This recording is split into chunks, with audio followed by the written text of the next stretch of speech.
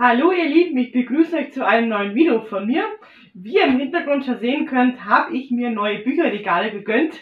Und ähm, da wird es auch demnächst ähm, eine wunderbare Bookshelf-Tour geben. Und ähm, Aber heute ähm, habe ich wieder eine Rezension für euch. Ich habe den ersten Band der Reihe schon rezensiert und den fand ich super.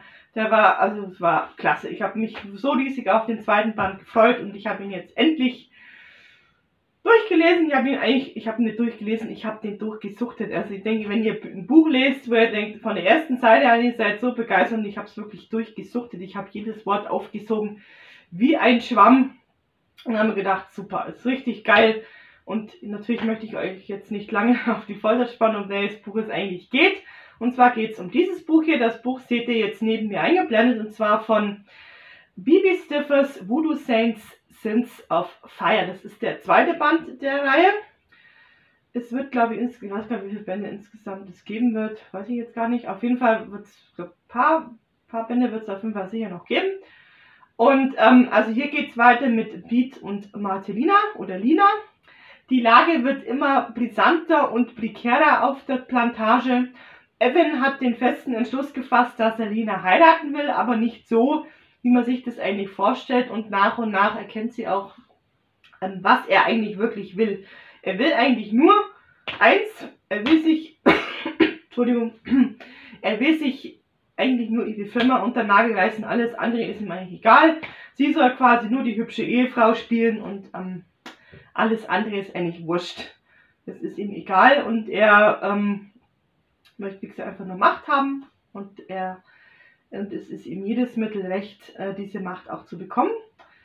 Und äh, Lina ist quasi zwischen den Stühlen. Sie hat eigentlich Gefühle für Beats, die eigentlich immer stärker werden, immer intensiver werden. Und ähm, beide haben aber zusammen mit den anderen, mit Billy und der ganz, seiner ganzen Family und seinen Freunden einen Plan, der hoffentlich, der hoffentlich aufgehen wird. Schauen wir mal.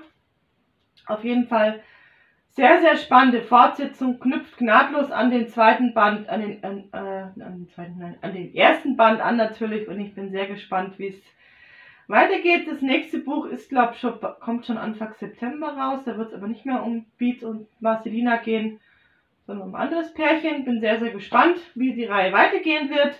Also mich hat es wirklich von vorne bis von vorne bis hinten vollkommen abgeholt. Ich habe es durchgesucht, ich habe es geliebt und ähm, auf jeden Fall habe ich, ich gefallen. Ich habe die Bücher richtig abgefeiert. Ich habe einfach, ich bin jetzt riesen Fan. Ich möchte einfach wissen, wie es jetzt weitergeht mit anderen Protagonisten, die eben in den zwei anderen Bänden jetzt so nur so am Rande vorgekommen sind. Bin gespannt, wie es jetzt mit Billy und Kane, glaube ich, geht es weiter, glaube ich.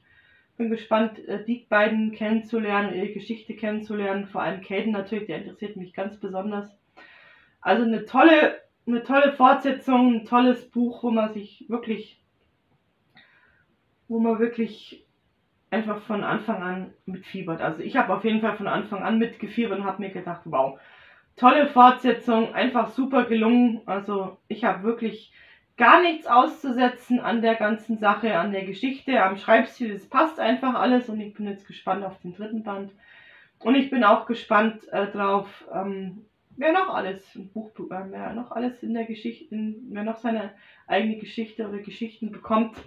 Also wie gesagt, es ist eine tolle, tolle Fortsetzung.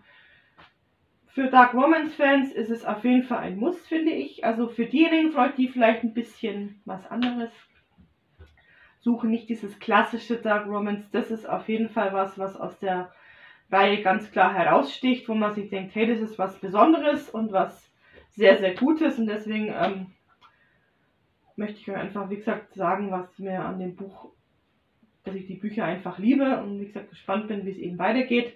Ich kann dem Buch wirklich nur ganz ehrlich 5 von 5 Sternen geben, weil es einfach mich komplett abgeholt hat. Ich hatte Spaß beim Lesen, ich habe Mitgefühl beim Lesen, ich habe ähm, einfach gebankt gehofft, wie es einfach ähm, mit den beiden eben weitergehen wird, wie es, ob sich doch noch alles, wie sich alles am Ende wenden wird. Und ich sage einfach Ganz klare Leseempfehlung von mir.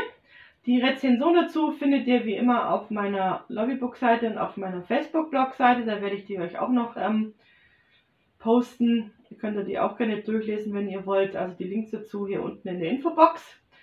Wenn euch dieses kleine und feine Video gefallen hat, dann lasst mir doch einfach einen Daumen nach oben da. Wenn ihr meinen Kanal abonnieren möchtet, würde mich freuen, dann könnt ihr das tun. Und den Link dazu findet ihr hier unten in der Infobox. Einfach auf den Link klicken, dann kommt ihr direkt auf meinen Kanal. Oder einfach hier unten rechts auf Abonnieren klicken, dann seid ihr immer informiert, wenn ich ein neues Video hochgeladen habe. Dann würde ich mich jetzt von euch verabschieden und ich hoffe, wir sehen uns beim nächsten Video wieder und sag Servus und Baba. Ciao!